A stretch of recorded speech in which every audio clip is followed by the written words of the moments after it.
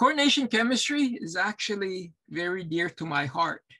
And the reason why it's very dear to my heart is because I'm an inorganic chemistry by training when I went to grad school in Santa Barbara. Um, I wanted to do some work. It's always been my dream since high school to figure out a way to get energy cheap. I remember in high school, I was thinking about the hydrogen economy because it was introduced even back then in the 70s and 60s that you can take water, split it, get hydrogen, and then use hydrogen as a fuel. And when you use hydrogen in the fuel with oxygen in the air, you get water back. And what is more cleaner than water in the environment? In fact, we have a shortage of water in the environment. So when I went to Santa Barbara in uh, my first year, I was interviewing different um, research directors, uh, research professors, and I was basically looking for professors who were doing some sort of work in, in this particular field. And there were a couple of professors there. One professor was uh, Richard Watts. He was my um, graduate research advisor. He was doing some research uh, with iridium chemistry. And his group had recently discovered, in fact, this chemical right here, okay, this chemical right here, recently discovered that um, iridium can take what we call bipyridine. You guys will see what bipyridine is. And bipyridine will flip so that the iridium will bind the nitrogen and the carbon. Okay, so that was fascinating because what happens generally is that the nitrogen are coordinated, coordinating atoms for the metal. But in this particular case, one of the bipyridines flipped so that it was the carbon. See, this, this generally would be a nitrogen right here. Mm, let me see if I can't do this. Uh, generally, bipyridine is this. And I'm going to introduce you to organic nomenclature as well, because we're going to be doing that a lot um, in this particular section. Generally, bipyridine is this right here, where you've got two nitrogen. This right here is a pyridine, is a pyridine. Pyridine is a six-membered ring. One of the carbons replaced by nitrogen. So this chemical right there is called bipyridine. It's called a ligand because it attached to the metal. You guys are used to ligand because the ethylene diamine that you guys uh, used in experiment six in the lab, ethylene diamine is a ligand. Ligands are, are just uh, normal terminology for um, an atom or a compound or ions that bonds to the metal. So this is a ligand. So instead of nitrogen bonding to iridium here, what happened was that this thing flipped nitrogen's over here and what we had was carbon. So that was called a uh, orthometalation. So they were doing that and they were trying to figure out, okay, these things really have good photophysical. That means that you can shine light on them. They'll hold on to the light, the energy of the light, store it for a little bit, and then transfer that energy to something else, like water. You can shine light on these chemicals. It's called a photocatalyst that chemical will hold on to the energy from the light. And then if it attacks another substrate like water, then it can transfer that energy to water and split up water to hydrogen and oxygen. So I was really interested in that, okay? And I did a lot of work in terms of these orthometalated compound. One of the, um, one of the uh, ligands that I used was this right here, okay? And then uh, characterize it, I got my PhD based, based on that work uh, person in our group went and worked for um, professor at USC, and there were some Japanese workers there, and uh, they realized that. Um, let's see. Yeah, exactly. Uh, they they they've recently figured out how to uh, take carbon dioxide in the water and get fuel from it. They're actually uh, there's a um, statement in the uh, chat there that pretty fascinating that they're doing research now where they're actually exploring for people settling in Mars. And certainly um, NASA has been really innovative in terms of uh, finding resources that human need in order to uh, sustain life in Mars. So we are living in a fascinating time in terms of things that we are finding every day in, in science. So, so thanks for that comment. But going back to this, okay, um, one of my uh, fellow graduate student went to USC. They worked with professor there.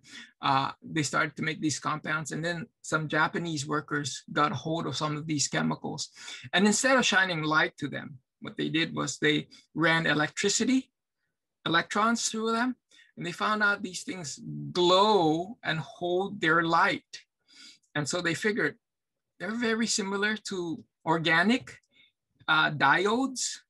And diodes are basically like light emitting diodes. They're, they're really highly efficient light bulbs that doesn't require a lot of power. But these things could be used for different colors of, of the rainbow.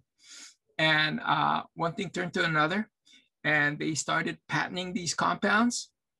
And now, if you look at your iPhone or maybe your TV, you're going to see that those screens are made by OLED, optical light emitting diodes. And the chemicals responsible for that are the same chemicals that I use in graduate school, okay? These things right here, okay? So um, again, the le lesson, lesson learned there is that the people who work initially work with the compounds are generally not the people who get rich from the compound okay, or not do not get rich from the discovery. It's the people who find a utilization for that compound that is uh, that gets the richest down the end. But uh, I like to say that that was my claim to fame in terms of my work in graduate school uh, and how it made its way to, to the device that everyone uses every day. Okay, but um, we're still trying to find the magic catalyst. We're still trying to find, and there's many work out there where you can shine light on a chemical. That chemical will hold that light and then split water. If you can find a way to split water to hydrogen in a cost-effective way, please don't forget me because uh, you heard it here first, okay? You're gonna be a billionaire probably a hundred times over if you can find a catalyst that can split water cheaply we've been trying to do this for the past, well, for my lifetime, basically. Anyway, um, just want to put that out there that these things that you cover in chemistry really do have applications in the real world. Okay, they do have applications in the real world. And sometimes it's, a, it's as close as the uh, device that you are using every day. First thing that we need to learn about coordination chemistry is some of the fundamentals. The things that you need to know is that coordination chemistry usually deals with transition metals. Transition metals are those in which the d orbital starts to fill, okay? And you guys know about transition metals because these are the transition metals right here, okay? And the reason why transition metals are important is because they have d orbitals. So the d orbitals are orbitals that are either have electrons or they can accept electrons. And when they can accept electrons, that means a ligand can bind to them. And if a ligand can bind to them, then you basically have a coordination compound, just like what you guys did in experiment six, where you had a nickel and then these ethylene diamine chemicals are able to bind to the nickel, okay? And that reaction was fairly easy. All you had to do was mix it, stir it up a little bit, cool it down, and voila, you had you had that those chemicals. So you can see that some reactions are are pretty easy. Uh, uh even my reactions in graduate school wasn't that difficult. You have to cook it a little bit, but you get about 80% yield. That's how much um, product you get uh, based on the starting material. And you guys know about this because you guys did experiment number six.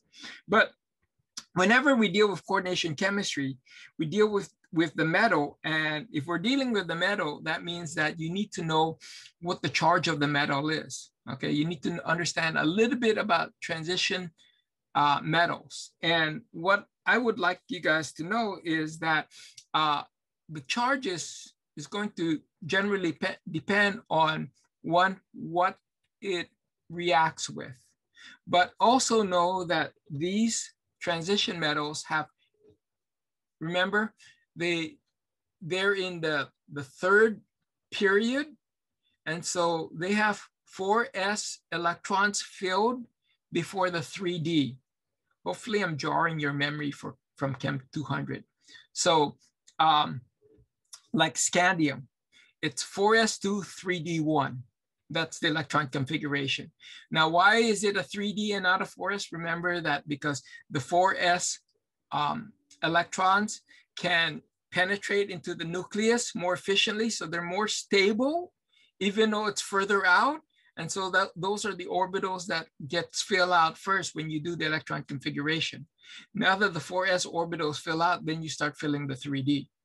Uh, so uh, we'll talk a little bit about that when we look at the electron configuration. But uh, because the 4s orbitals are filled first, whenever you ionize the metal, ionize just means you rem remove the electron so that now it becomes an ion, a cation. The electrons first come out from the 4s orbital. Why the 4s? Because even though the 4s is much more stable than the 3d, and that's why it fills first in the electron configuration, the 4s is in the fourth shell, and the fourth the fourth shell extends further out from the nucleus, which means that it's going to take less energy to ionize those electrons, to remove those electrons. So when you ionize the transition metals, you're always ripping off the electrons from the s orbital first. Okay, so um, these are the different oxidation states for the different transition metals. Scandium plus three, okay? Usually what happens is that scandium, remember, has a electron configuration of noble gas, 4s2, 3d1.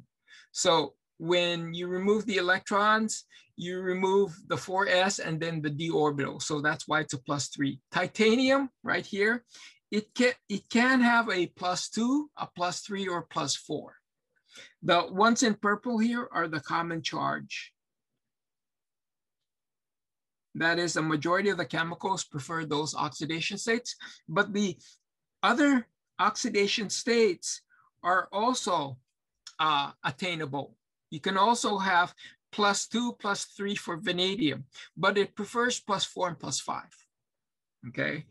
Uh, and again, the, these are how many electrons you remove from the, the, the metal so that now the number of protons compared to the number of electrons are going to be greater, either four protons greater than electrons or three protons greater than the electrons. That's how you get the, the positive charge.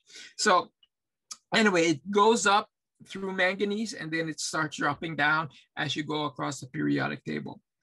Okay, so here, here they are again, periodic trends. You can take a look at this and remember that these are your transition metals and the oxidation stage generally goes up as you go across the periodic table, except for transition metal. It goes up to manganese and then it drops down to zinc. But um, again, again, depending on the valence electrons, you're going to get oxidation states that corresponds to either electrons being removed or electrons being added if you have a non-metal right here but we're concentrating on transition metals for the most part, okay?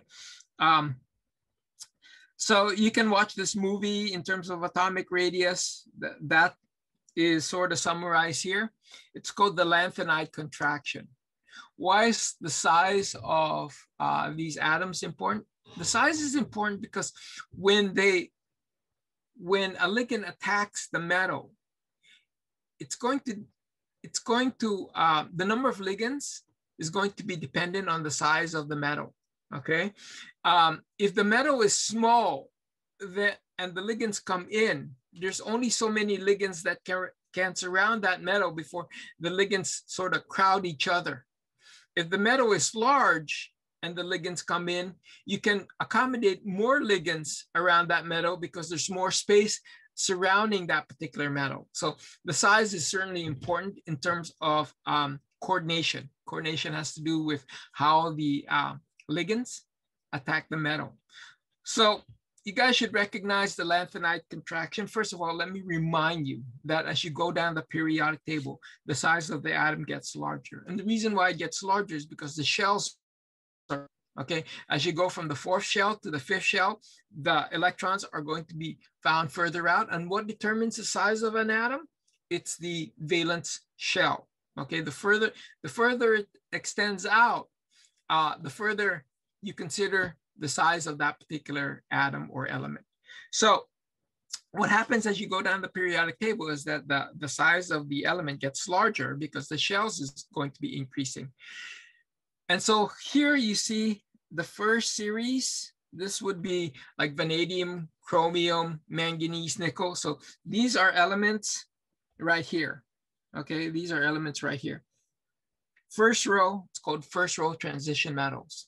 And then this would be second and third row transition metals, second and third row. Transition metals, but look what happens to their size. The second and third row transition metals are certainly larger than the first, but they're, I mean, their, size are, are compa compatible. The second and third row transition metals are about the same size, and that's called the lanthanide contraction. And the reason why they're about the same size, even though you're going to one level deeper, let me just show you this in the periodic table. You see how these elements right here are in the fifth period and these elements right here are in sixth period. But look at the sixth period. Let me clear this so that you guys can see that. So doing here is just basically doing some Chem 200 review. Look at the sixth period as you go from lanthanum to hafnium, um, I don't have it here. I wonder if I have a periodic table that shows that. But if you look at a regular periodic table, if you go from lanthanum, lanthan, lanthanide to hafnium, you actually go down to the uh, rare earth, you go to the f orbital elect, uh, elements. And so what does that mean? It means that, so as you go from lanthanum to hafnium 57, you actually go through this right here, the lanthanide series. And as you go, as you march across through that, and then finally when you get to LU, you go back to hafnium. So between lanthanum 57 and hafnium 72, you actually have 14 protons that are in the nucleus uh, increasing. And so if you're just looking at these elements over here, okay, the ones in the sixth period, you have something called the lanthanum contraction.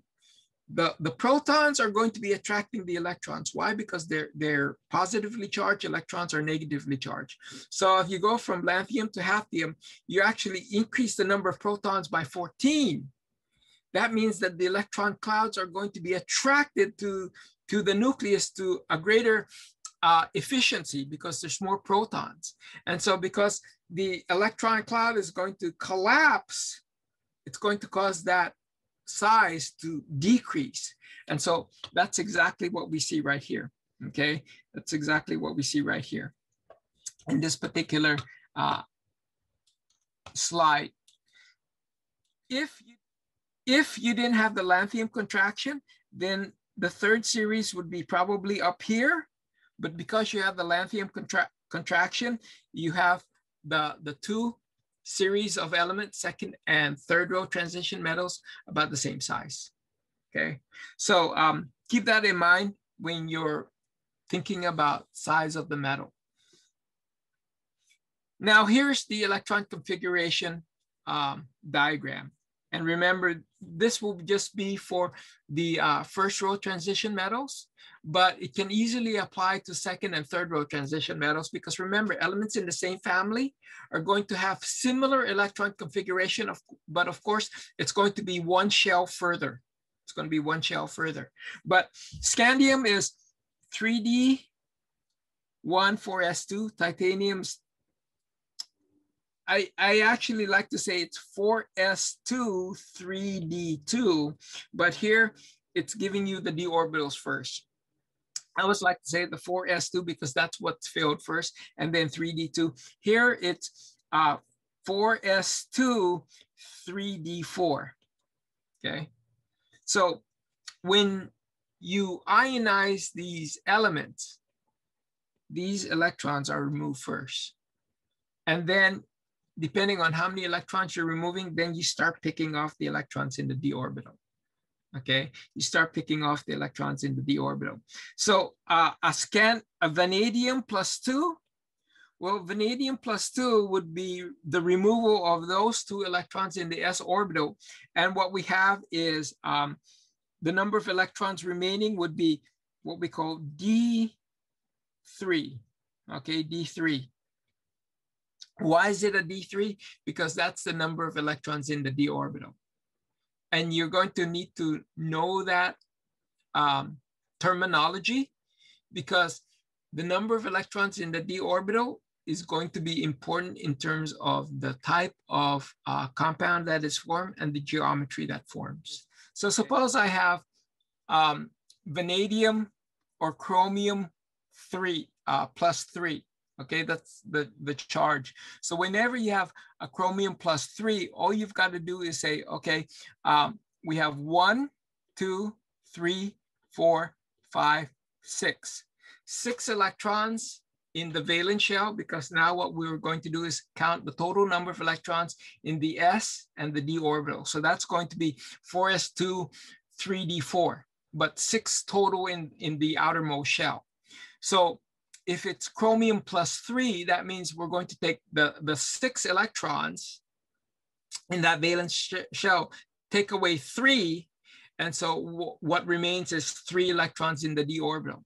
So uh, a chromium plus three would be called D3 because that's the number of electrons in the d orbital. Suppose I have a cobalt, cobalt three, okay? How many electrons in the d orbital? Don't make it hard on yourself. Don't go into the electron configuration and say, okay, cobalt has 4s2, 1, 2, 3, 4, 5, 6, 7, 3d7. Take away 2, take away 1. So you have uh, 5, uh, you have 3d uh, 6. Do it this way. You have look at cobalt first, which is right here in the periodic table. Count from the edge, one, two, three, four, five, six, seven, eight, nine. So there's a total of uh, nine electrons in the valence shell, the S, the 4S, and the 3D, total of nine. You just have to count across from the edge. And now it's a chromium three, which means that it's a plus three ions. What does that mean? You're taking what you're, you have nine electrons, you're taking away three. That means there's six electrons remaining. It's going to be in the d orbital. So you just say d6, okay? So something like niobium two, niobium two would be one, two, one, two, three, four, five. Five minus two, that'll be a 3D, that'll be a D3 it's going to be, you want to do it that way rather than overthink it. How about palladium four? Palladium four. Again, count from the edge. One, two, three, four, five, six, seven, eight, nine, 10. 10 minus four, six. So it's a, it's a D6. Okay. And why is that important? Because you need to know the number of electrons in the d orbital after it gets ionized after it gets ionized. The electrons from the s orbitals are always going to be removed first, and then the electrons from the d orbitals are going to be removed next, depending if you have two or more electrons, or you have more than two electrons that are being removed. So please keep that in mind. It's, it's a very simple uh, shortcut. And in the past, students would get confused because they would overthink it they would first write down the electron configuration for that particular element, remove the electrons from the s orbital, remove the electrons from the d orbital, and get to the answer. But if you just count how many electrons total in that last shell, and that last shell is both the s and the d, and just subtract that amount, then you will have the number of electrons in the d orbital. And again, it's important that you understand how to do that because the number of electrons in the d orbital will give you information that so we're looking at the um, chemistry between the ligands and the metal. And so in any discussion between the ligands and the metal you have to consider the lewis acid Lewis base situation. Remember that Lewis acid are chemicals that are going to be electron acceptors. That would be your metal because they have d orbitals that can accept those electrons. And when we talk about uh, metals, then we're going to have to look at the d orbitals in, in detail. Lewis base are going to be the ligands with the electrons to donate, okay? And ligands again are those second dairy chemicals that are going to bind to the metal. And so uh, examples of ligands that you will see is like water or ammonia or chlorine or cyanide, any chemical that have lone pair electrons, they have to be lone pair electrons. So that's what you see right here. These are the metals, they have d orbitals. And you guys should remember the different types of d orbitals.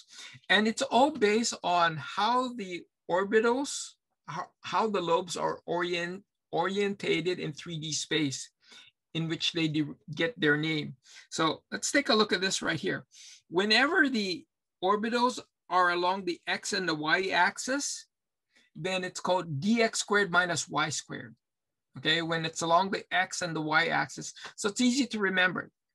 If the orbitals or the lobes are along the x and the y axis, it's dx squared minus y squared.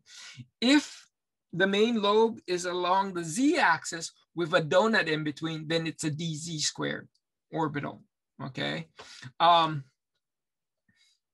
and then the others, the others are dxy. They're, remember, we're looking at the Cartesian coordinate. Cartesian coordinate has x, y, and z axis. So the orbitals are, are going to be along the xy, the xz, or the yz, but they're pointing in between those axes. So see this right here? This right here is be pointing between this axis and this axis right here. Uh, I believe that one of them is the, um, this is the x-axis, and this is the, um, just make sure that I, I have these pictures correct. Uh, yeah, this is the X, this is the Y, and this is the Z. So if you look at these orbitals right here, you're going to see that it's pointing between the X, the Z and the Y axis. So this is the Y axis, this is the Z axis, and these things are pointing between those the lobes are between those axes. And so that's why it's called DYZ.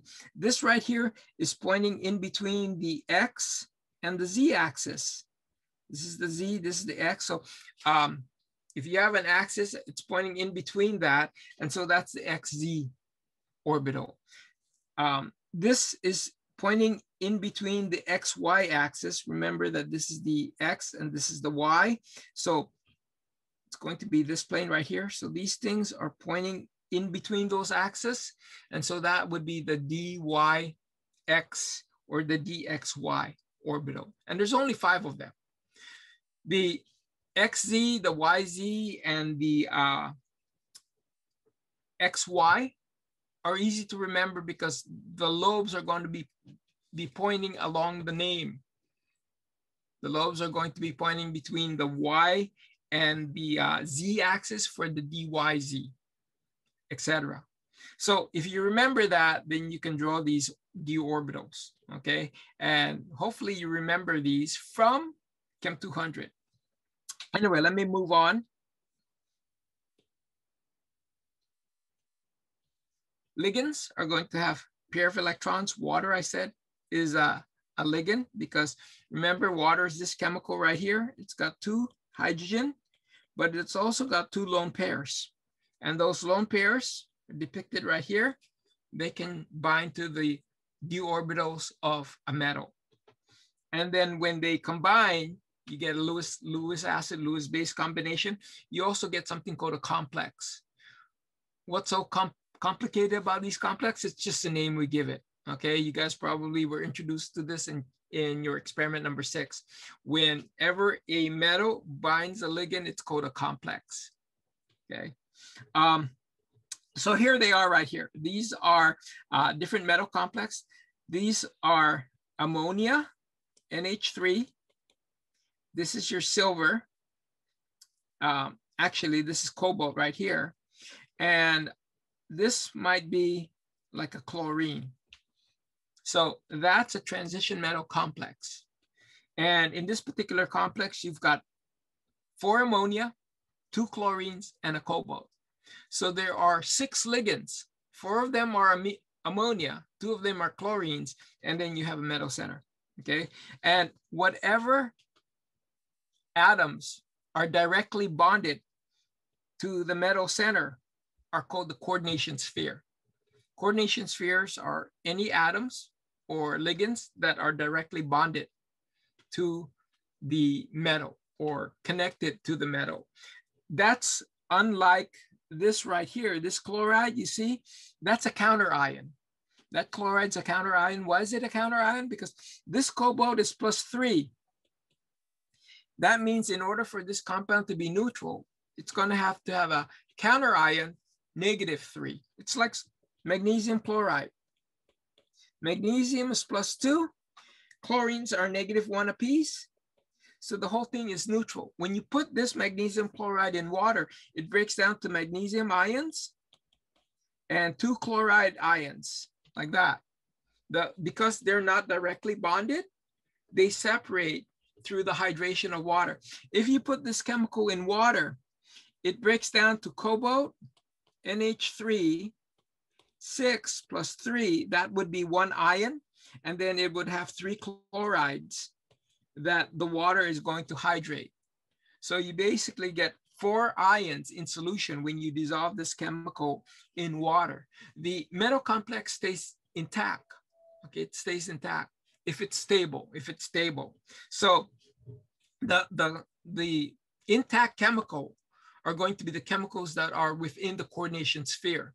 The chlorides are not in the co coordination sphere because they're counter ions. So uh, let me go ahead and move on from this. And again, those are chemicals in the coordination sphere. Okay, counter ions are chemicals so that the whole thing is neutral. Okay. Now, there's two terminologies that you will need. Uh, if you guys are in lab, take a look at the coordination chemistry activity. Coordination number is with, is with respect to the metal, okay? How many bonds are to the metal? So this right here, it's gonna, the cobalt has six bonds. It's gonna have a coordination number of six. How many ligands are actually uh, attached to that cobalt, there's six ammonia, six amines, so the ligand number is six. Just like what you see right here, where maybe each ball represents NH3, okay? Um, that right there would be a coordination number of two and a ligand number of two. Okay, coordination number of two, ligand number of two. That right there is, look at the metal, how many bonds are coming out of the metal? One, two, three, four, five, six. Coordination number of six, but a ligand number of three. Why is it a ligand number of three? Because that's considered one ligand. It's called a bidentate ligand, where one chemical binds the metal at two different sites, at two different orbitals, the orbitals. So the number of ligands are three ethylene diamines in this particular case. So that's three ligands, but the coordination number is six. Coordination number has to do with respect to the metal and how many bonds that metal is giving off. So here are other examples.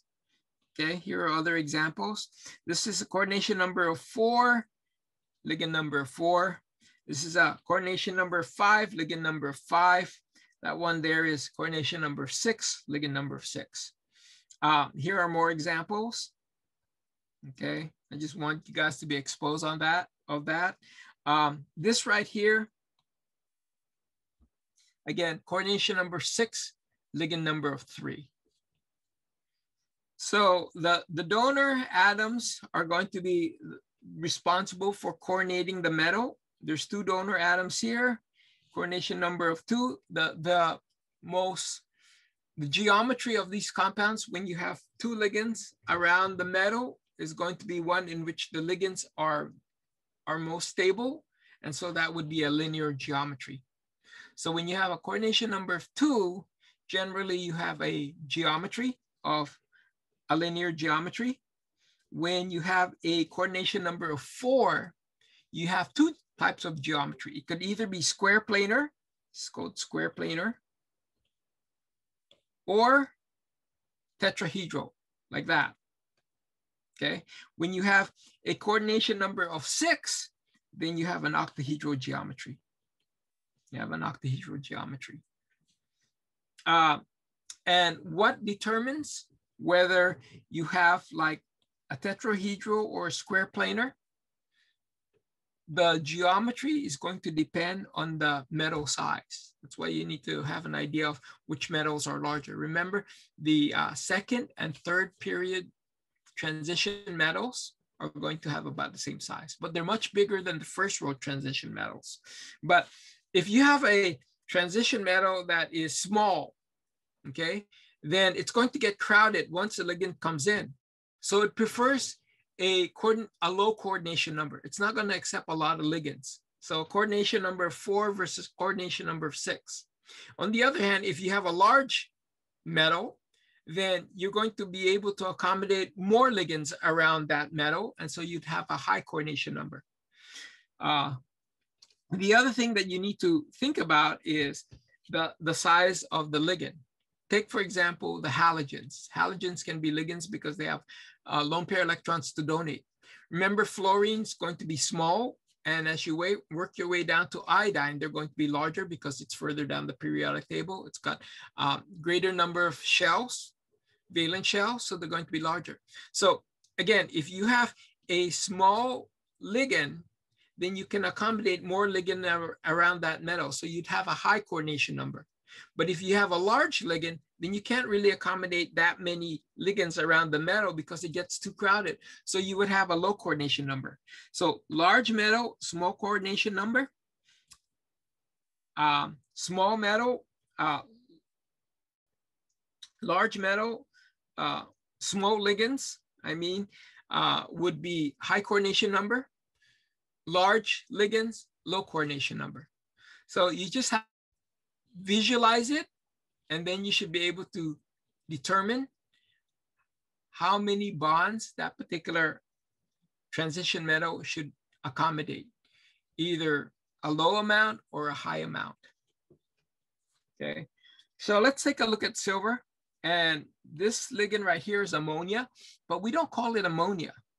In coordination chemistry, we call NH3 amines. Okay, that's just the name we give it, amines. So NH3 has a lone pair. You guys remember the uh, Lewis structure for ammonia. And so that lone pair will bind to the metal. And here are other ligands that can bind to the metal. And they all have in common lone pairs to donate to the metal. Okay. Then you also have ligands that are called polydentate ligands. And these have within the structure two atoms that have lone pairs somewhere in the structure that can bind the metal simultaneously. That's why it's called polydentate. Poly meaning many, more than one. Dentate meaning bite, because it looks like they're biting into the ligands. So um, I'll show you an illustration of these things shortly here. But polydentate ligands, and you guys have been exposed to these already. Ethylene diamine is a polydentate ligand. More specifically, it's called a bidentate, bi meaning two, two bites. Okay, so here are monodentate ligands. That is, these are the ligands that will bind the metal at one site. Called monodentate because they only bind the metal at one side. So called monodentate ligands. Okay, even though the something like cyanide has two places that it can coordinate the metal, either here or here, the cyanide can't wrap itself around. The cyanide can't bend like this, for example, and bind the metal like that because the cyanide's linear, okay? So it can't bend to do that. That's why it's monodentate. It's only going to bind a single metal at one side, okay? Um, on the other hand, chemicals that like carbonate, carbonate looks like this. This is CO3. 2 minus. See how there's a bend right here? If there's a bend right here, that means that this thing can wrap to a metal and both oxygens can bond to the metal at the same time. That, that would be a bidentate ligand, okay? So these are examples of monodentate ligands. Those are some of the names. Water is not called water, it's called aqua. Amines, ammonia is not called ammonia, it's called amine. NO is called nitrosyl, CO is called carbonyl. Fluorines are not fluoride, they're fluoro. Why are they, they O, N, and O? Because they're anionic ligands. That is, they have a negative charge. Whenever you have an anionic ligand, that is, its charge is minus, then you have to end the name with an O. Here are more examples of uh, these ligands. It's in your book. And then these right here are bidentate ligands. Notice that they have a place where they can bind the metal at two sites within one ligand. They have a place where they can bind the metal at two sites within one ligand. So that's why they're called bidentate ligands, okay? There's two places where they can bind the metal. And this right here, you guys are actually, actually familiar with this chemical. This is a chemical that you've used in lab. It's also, if you have any kids, a chemical that you should get because it's really good in terms of uh, anti-metal poisoning. It's called EDTA. And usually it's Na4 EDTA because EDTA is a minus four charge. So you need four sodiums to counteract that, counteract that negative four, okay? Sodiums are one, positive one apiece. EDTA is negative four as a whole. So positive four, negative four, neutral. That's the salt. But when you remove the sodium, because again, it's a spectator ion, this is the chemical you have. EDTA stands for ethylene, diamine, tetra, acetate. Let me try and point out how the name comes from that structure so that whenever you see EDTA, you guys can whip it out, no problem. Ethylene diamine, two carbons in organic chemistry is usually a prefix of eth. Ethanol, um, ethan ethanoic acid, okay, means two carbons. So those, those are your two carbons. It's in the center. Diamine means there are two ammonias. Here's your two ammonias right there at the end of each ethylene diamine. Now, it's not really ammonia, but it's like ammonia because ammonia is NH3. That means ammonia has three bonds attached to it and a lone pair. So that's your diamine. And then acetate. This right here, if you put a hydrogen right here, that's acetic acid. So the ion of acetic acid is the acetate ion. There are four of them. One, two, three, four, and they're attached to the, uh, to the amine. That's how EDTA gets its name. Ethylene diamine tetra for acetate. And you see these oxygens right here? They all have lone pairs and these nitrogens have lone pairs. So what do they do? They all, one ligand okay, one ligand can bind a metal at six sites. And that's what it looks like right over here. And that's why these particular chemical, EDTA, is a good uh, poison reagent because what happens is that maybe a child uh, get, gets, they, they eat lead, lead chips, paint chips, I mean, okay? And if the lead gets into the blood system, then it's going to get adhere to the, the fatty, fatty fats in that particular child, and then it'll just stay there. And then it, it'll leach over time and it'll cause uh, the central ner nervous system to, to kind of break down. That's how the great so-called the Greek, the, the Roman Empire broke down. It's because they were using lead pipe. And so they were going crazy or senile because of the accumulation of lead uh, in their water system. But this particular chemical, as soon as it finds a metal, it'll sequester it, it'll catch it. And then because it's got these OH groups, it's going to be water soluble so you can flush it down through your system, through your urine. Okay. And so that's why this, this EDTA is a really special agent for anti-poisoning of heavy metals or to preserve uh, food from spoiling because it sequesters any chemical and then it can get washed away. So that's EDTA. It's got real application. Um, here are more polyatomic ions, ligands that you can use. Okay, these are the ligands. These are the chemicals it comes from, like acetic acid. What is the ligand from acetic acid? It's the acetate ion. Uh, oxalate is over here somewhere. Okay, it comes from oxalic acid.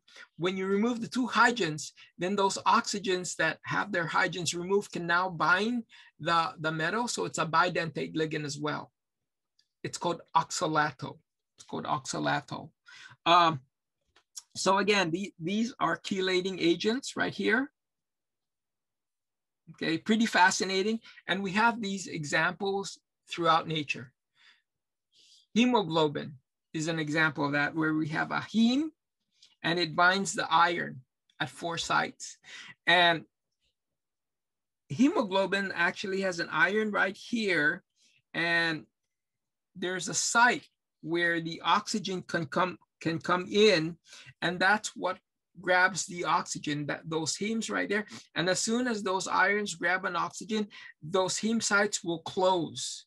And then as it closes, the hemoglobin globin uh, molecule will, will open up the other side so that it facilitates the other heme sites to uh, accept oxygen. Once uh, a second oxygen binds, then it closes and then it opens up the other oxygen so that again, it becomes more efficient for the second, third, and fourth oxygen to bind to hemoglobin but this is an example of coordination chemistry in living system. There are a lot of that in, in, in nature, vitamin B12, the zinc finger proteins, they're common. Oxy, myoglobin, chlorophylls are all examples of coordination chemical compounds. Okay, now we're not gonna really study these, but I just wanna expose you to them. And uh, this right here has to do with as to why these, these polydentate ligands um, combine with metal very efficiently. It's actually a thermodynamic. If you take a look at this reaction right here, you see that the nickel with water is going to be replaced by ammonia. And when that happens, you've got seven moles, seven moles of reactant here, and you end up with seven moles of product. The K formation, the equilibrium constant for that is pretty big. It's four times 10 to the eighth. But look at what happens when that metal complex with water, nickel hexaaqua um, compound binds ethylene diamine. Okay, we've got seven moles here, but here we've got, sorry, not seven moles. I, I miscounted. That, that's four moles. Three plus one is four, but you get seven moles on the product. So you go from four moles to seven moles. You get higher degree of entropy. And look at the KF value. It goes from four times 10 to the eighth to two times 10 to the 18th. So it's much more efficient in terms of binding polydentate ligand. Why? Because the entropy is increased. The entropy and is the driving. Experiment number six makes a little bit more sense in terms of what you were doing in the synthesis. You had basically a um, uh, a nickel compound, I mean, and you were adding ethylene diamine to them, and the waters are getting removed. Depending on the ratio of ligands to metals, you replace two waters for one ethylene diamines, or four waters for two ethylene diamines, or all six waters for three ethylene diamines. You're going from a coordination number of six to a coordination number of six, but you can go from a ligand number of six to a ligand number of three if you actually get to three ethylene diamine on your compound. okay? And because the coordination number of the metal is six, the geometry is octahedral, whether you have salt A, salt B, or salt C.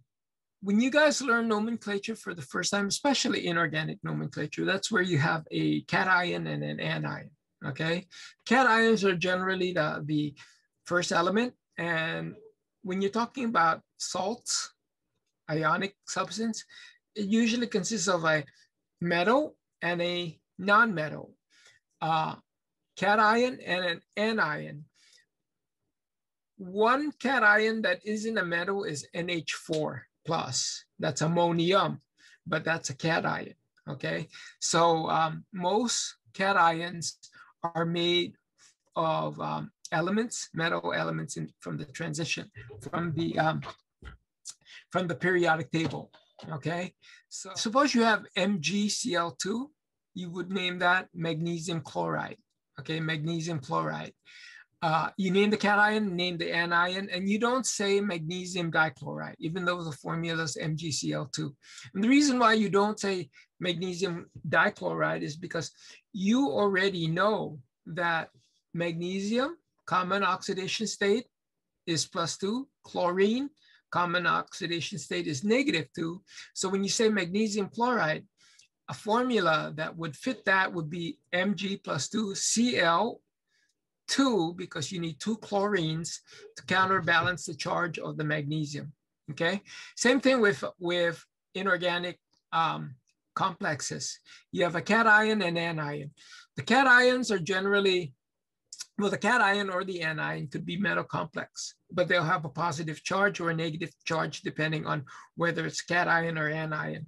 And then there's the counter ion. The counter ion's what makes that whole thing neutral.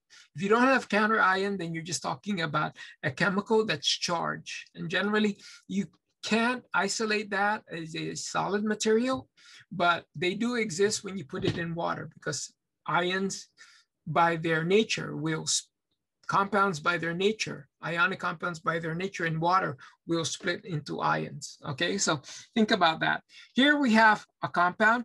This right here is the cation. It's always the first part of the formula. And the bracket indicates those elements or those atoms within the coordination sphere. Remember, we talked about um, atoms in the coordination sphere. Atoms in the coordination sphere are going to be atoms that are bonded directly to the metal, okay? Either through a network or through direct bonds.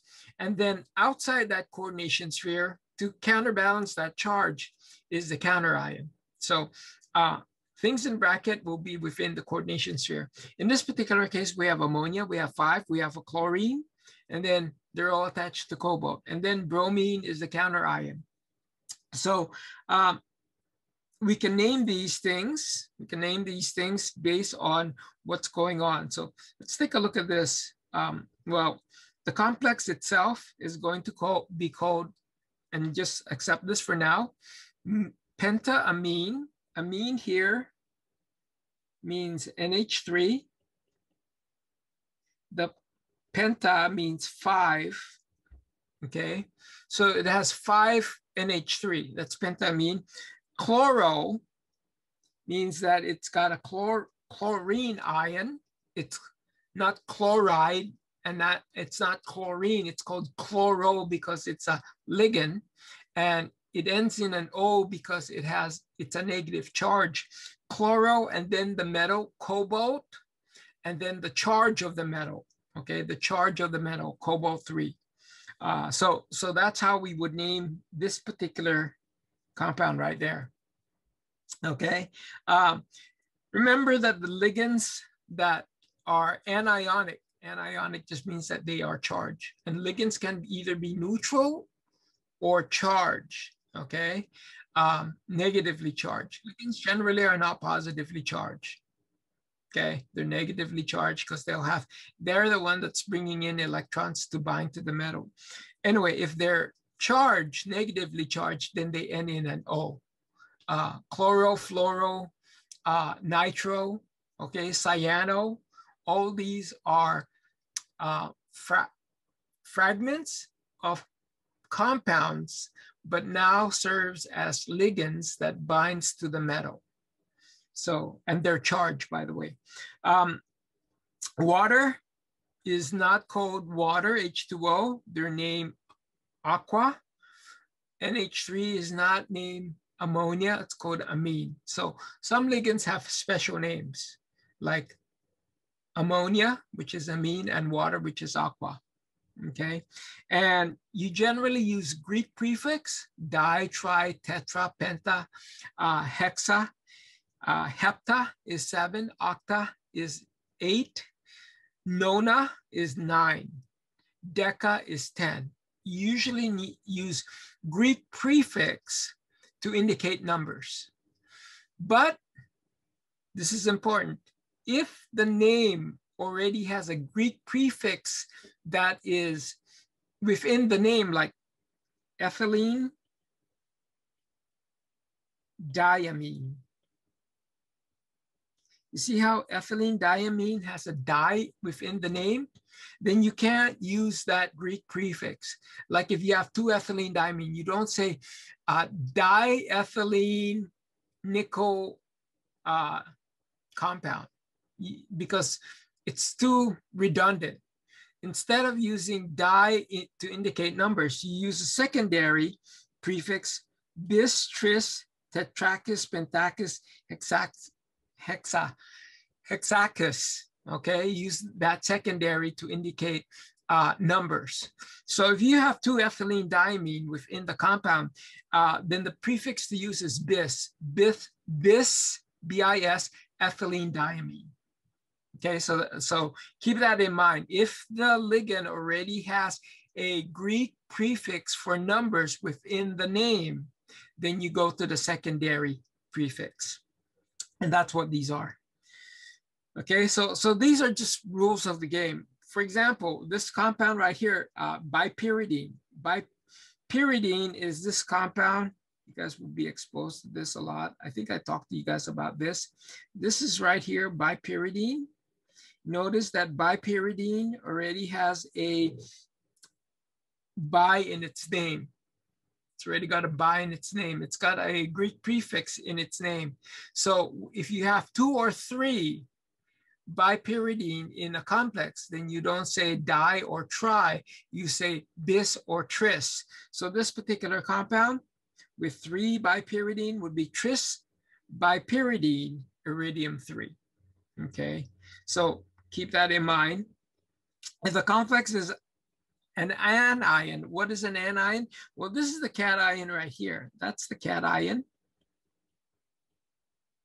This is the anion portion right here. So if the complex is negatively charged, then you have to change the suffix of the metal to ATE, okay? Change the suffix of the metal to ATE. So um, if well, now this right here, you'll see that example is, is positive, but suppose that this ammonia was a negative charge uh, species, like what's negative charge? Let's say that we have six chlorines here, COCl6, okay? And cobalt is plus three. Cobalt being plus three and chlorine being negative one would make this whole thing minus three. This whole thing would be minus three. Therefore, you need a cation to neutralize that net charge, something like three sodiums, Na3, okay, Na3. This particular chemical would be called sodium, name the cation first, and then the ligands, uh, hexachloro, and then instead of saying cobalt 3, you say cobaltate you put an ATE at the end of cobalt. So now it's called cobaltate and then the charge of the metal, cobaltate three. And again, you'll see examples of that.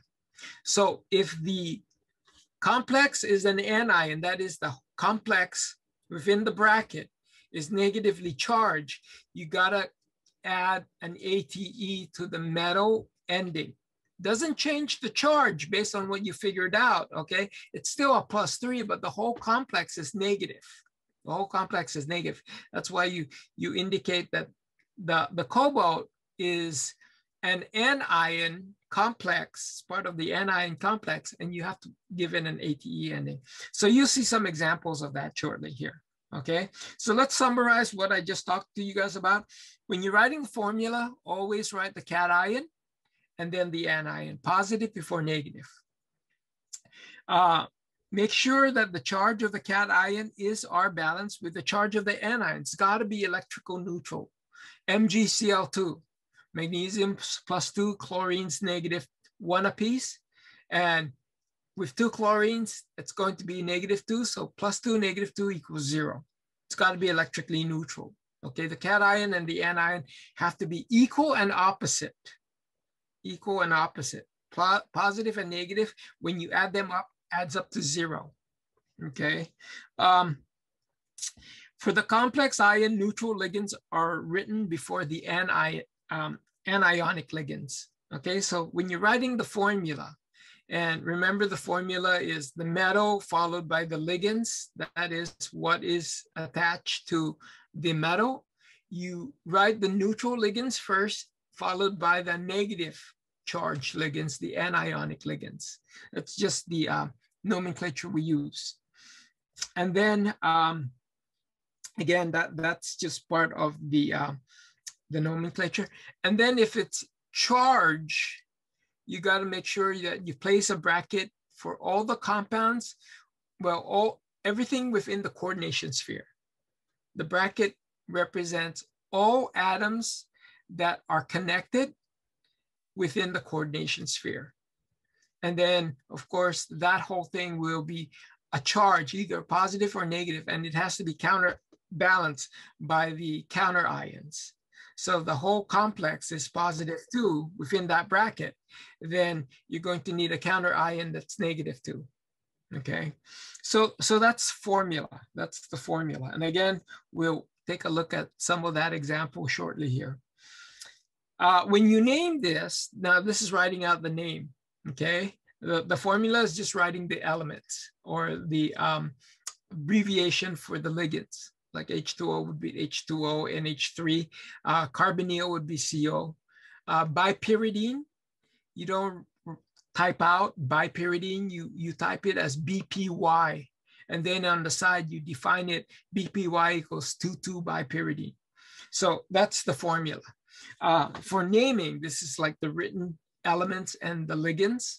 Okay, this is how you do it. Again, cation before anions, the positive over the before the negative. And then within the complex, name the ligands in alphabetical order. Okay, so the way you name the, the formula is you write the metal followed by the ligands and then the bracket. But when you name it, you write the ligand name, all the ligands name in alphabetical order, and then the metal comes at the very end. Okay, you're spelling it out. So you write the ligands in alphabetical order. Okay, neutral ligands generally have the molecular name except for water, which is aqua, and uh, NH3, which is a amine. Okay, th those are neutral ligands. Um, if it's anionic, you drop the, you end it with an O. Like chloride, you don't use chloride, you use chloro. You drop the IDE and end it with O. Fluoride becomes um, fluoro, okay? Um, NO3 nitrate becomes nitro.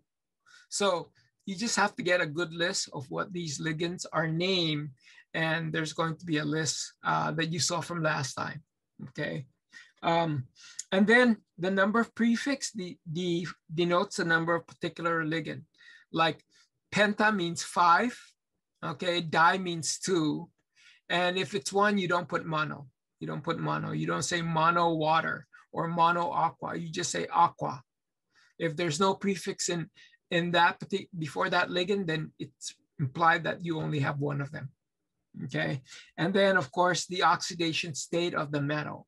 That's very important. Why? Because remember transition metals, uh, with the exception of zinc, cadmium, and silver, they have variable charge. Some of them will be plus three, some of them will be plus five. You need to know what the charge, how many electrons it's given up. And if it's ambiguous, that is, sometimes it does this or that, then you have to tell the audience how many electrons is given up within the name. Cobalt 3, it means that cobalt has given up three electrons. Okay, it's a cobalt plus three cation. And now you, to figure out the charge of the complex, you look at the charge of the metal and the charge of any of the ligands, and then you add them all up. So again, you'll see how that operates when we do nomenclature. And then of course, uh, like I said, uh, for anionic complex, you're going to name, um, you're going to give those name um, ATE ending, ATE ending. So let's take a look at this right here, okay? The way you name things is write down everything you know about that complex. Don't just start naming it off. Right now, I know that I have a chromium. Okay, chromium. Uh, I have an EN, and I know that's ethylene diamine.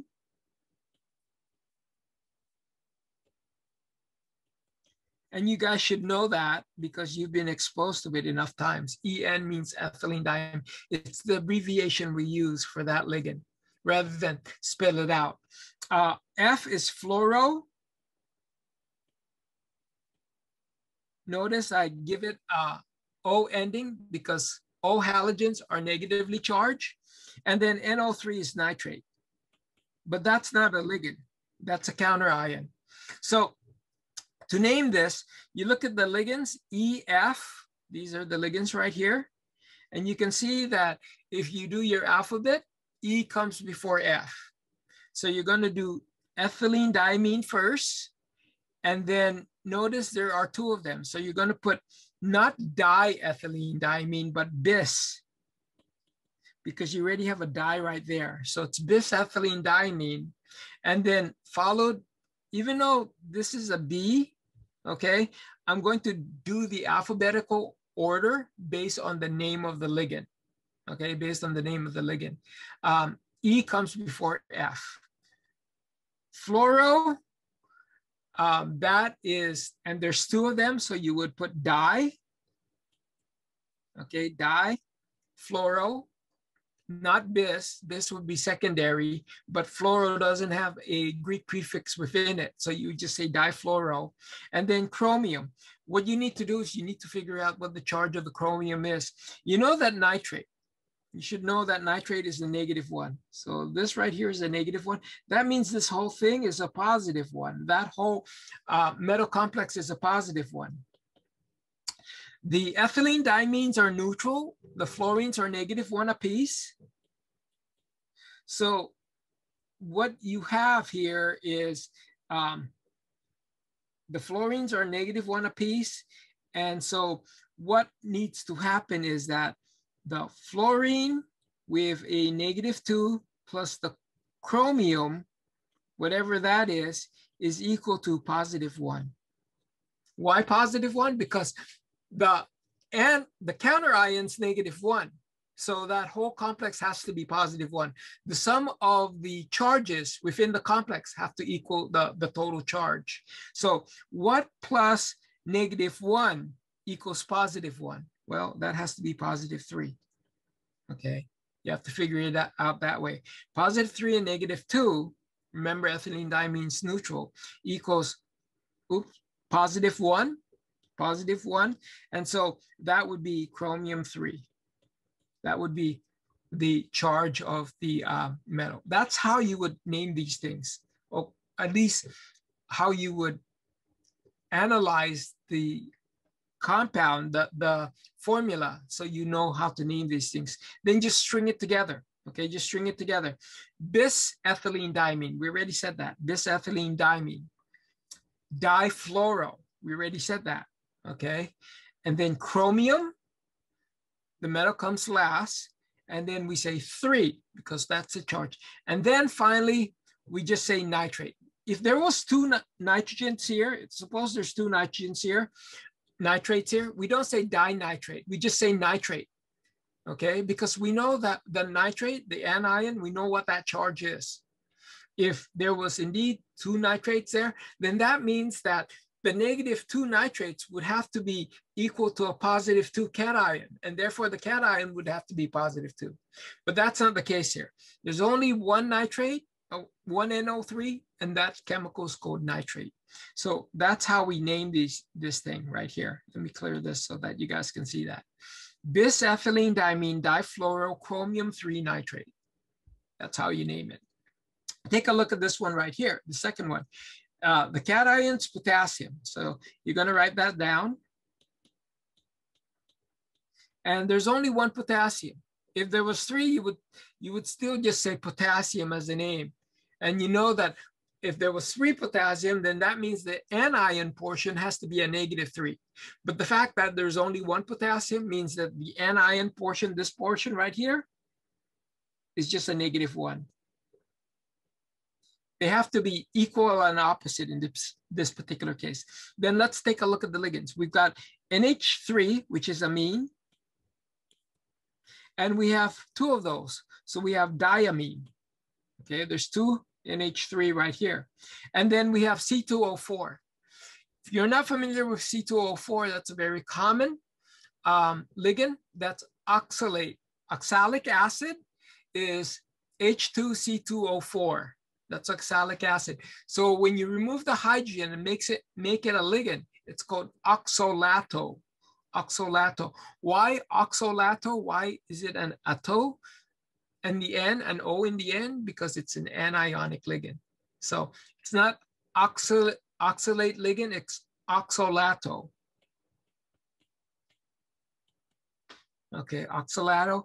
And there's two of them. So uh, Oxalato doesn't have a Greek prefix in it. So again, it would be just di in that particular case.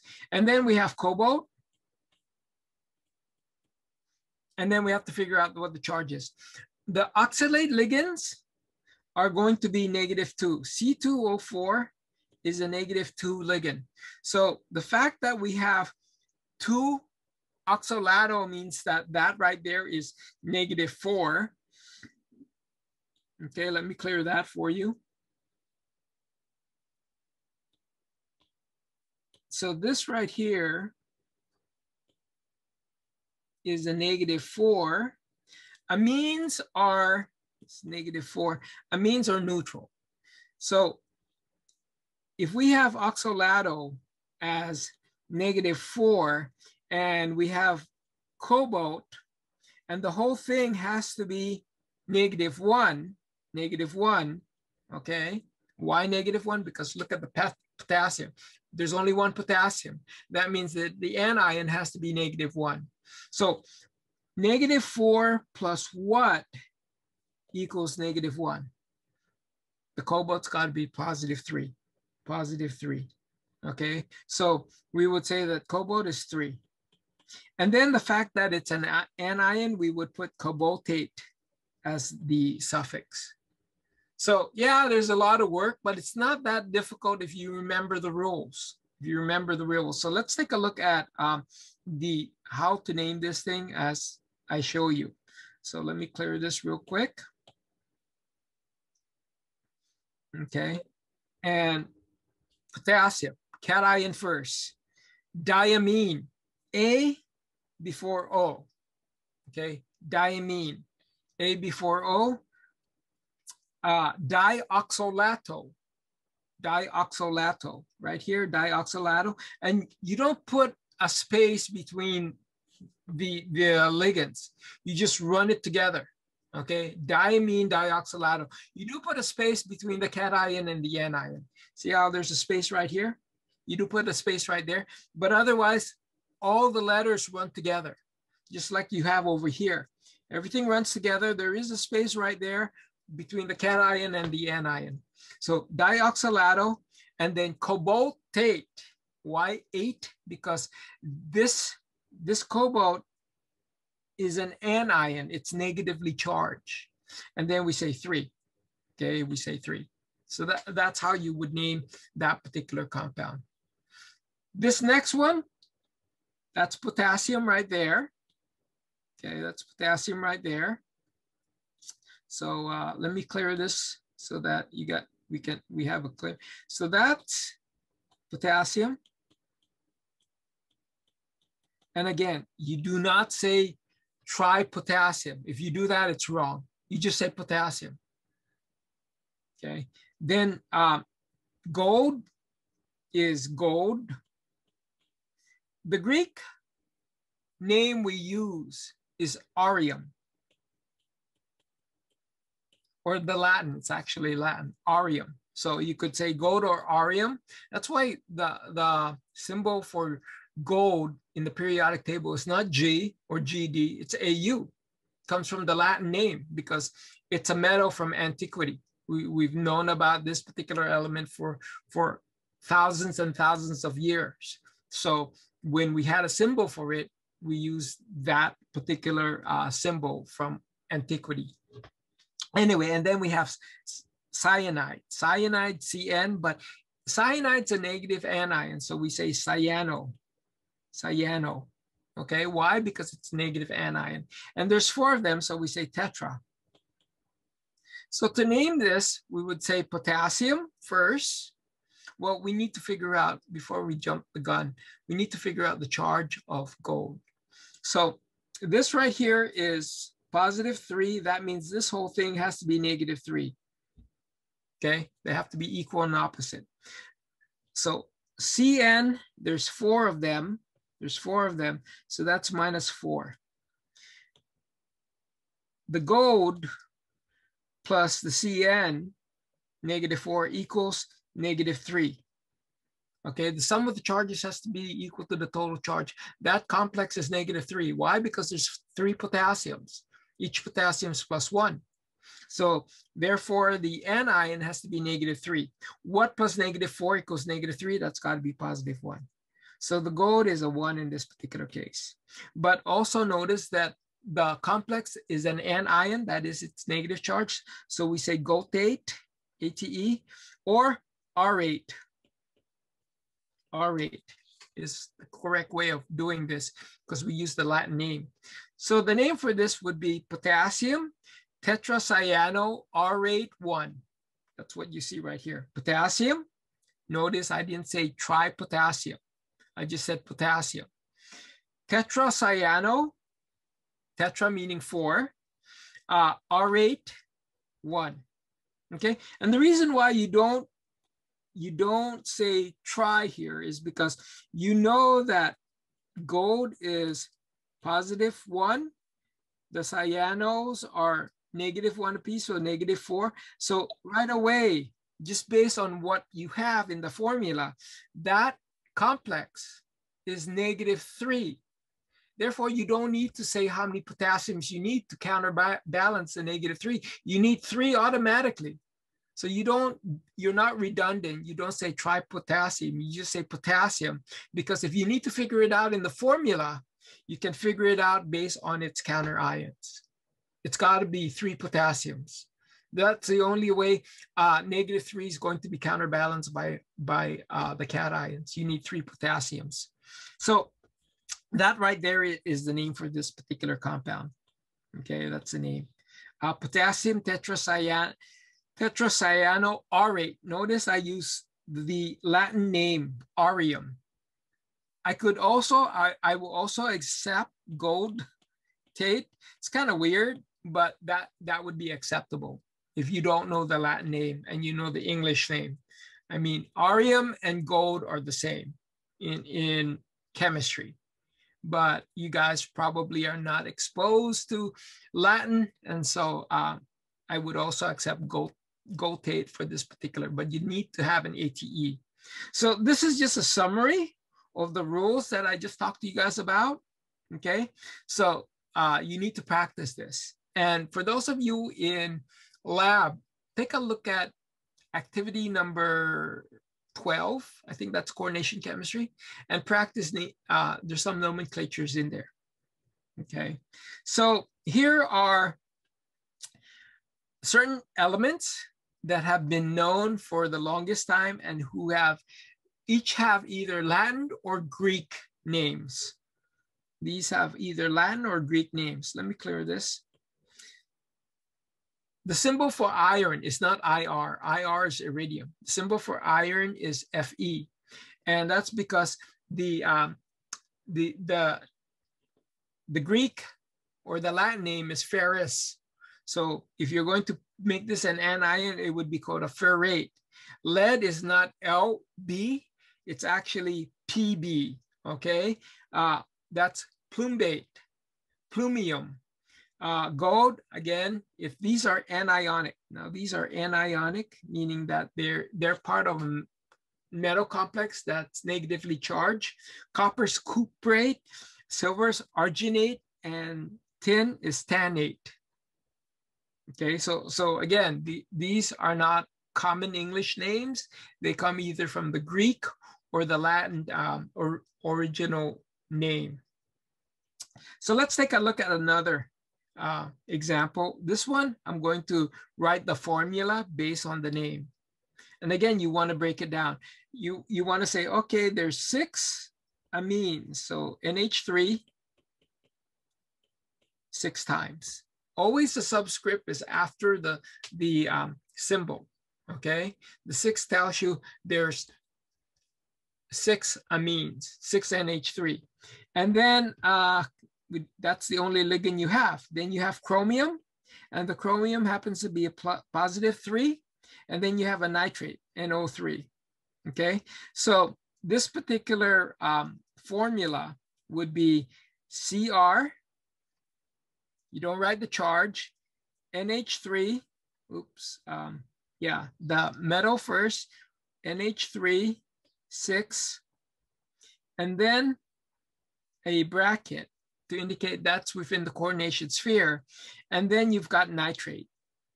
Let me clear this real quick. You have nitrate, NO3.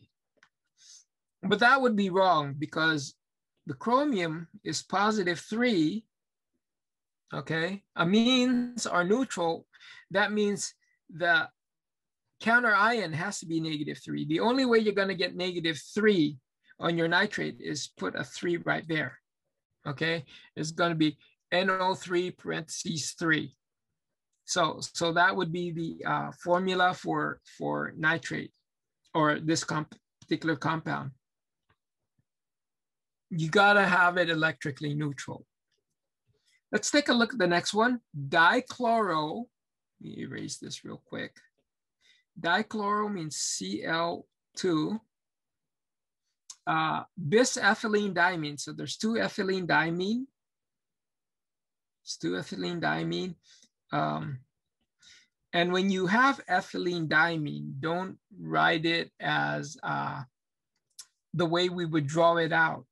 Okay, don't write NN that's how we would draw it out in um, the structure, but this is the formula. So you would write En, En, and then there's two of them because there's a bis, and then there's a platinum, PT, but that platinum is a four, and then there's a bromine. How many bromines? Well, you have to figure that out. You know that the platinum is plus four, you know that ethylene diamines are zero and there's chlorines are negative one, so that's negative two a piece or negative two total. So the cation portion, and the first part is always the cation portion, is going to be positive two. That can only be balanced by two bromines. So you're gonna have to write Br2 as a counter ion. Okay, it's got to be electrically neutral.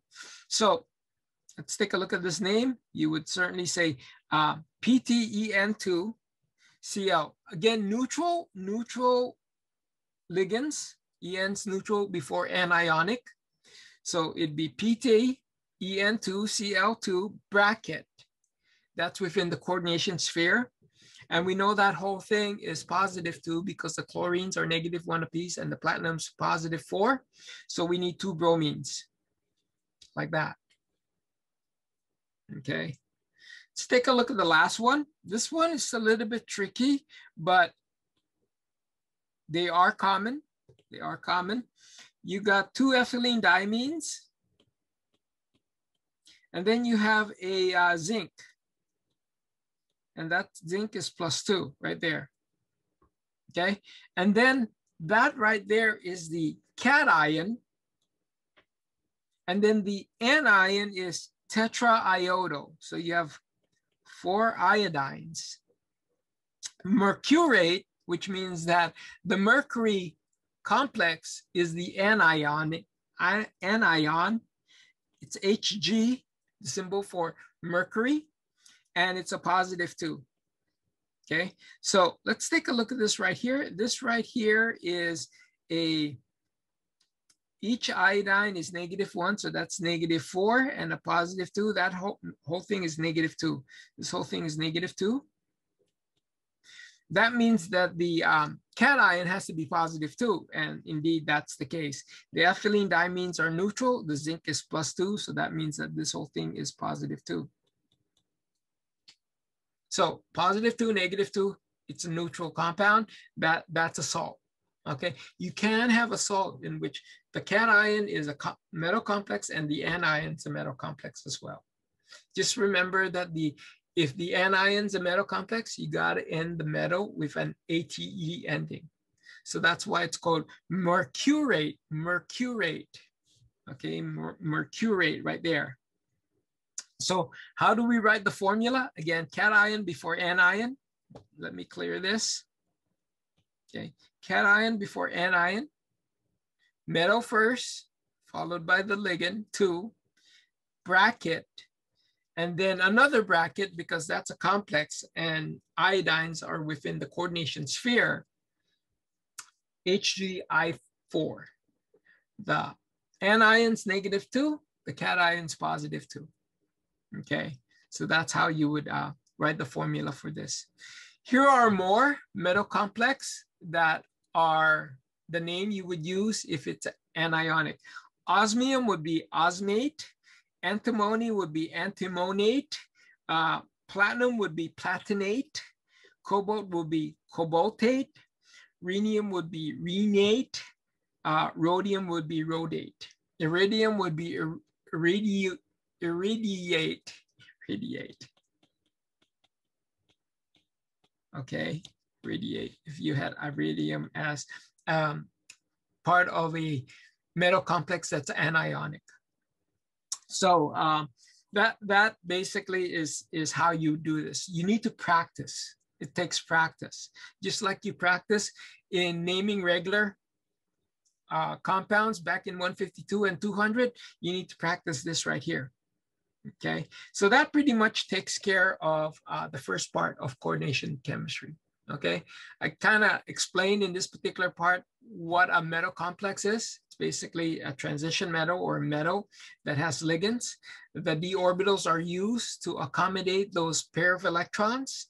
Uh, then you have different geometry depending on how many ligands that you're going to have attached.